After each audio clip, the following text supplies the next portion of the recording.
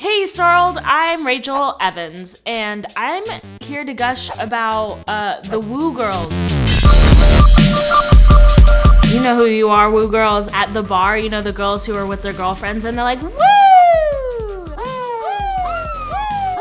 I think the sound probably puts like a barrier between you and all the hate that other people give you, and I appreciate that. I love knowing that you're here, and I love knowing that you're having a good time. I want you to have a good time, and anybody who tries to dampen that parade, you don't even care. You got a army of woo around you.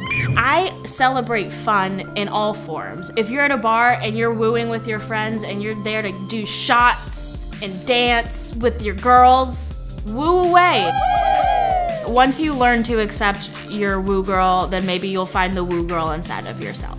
Woo!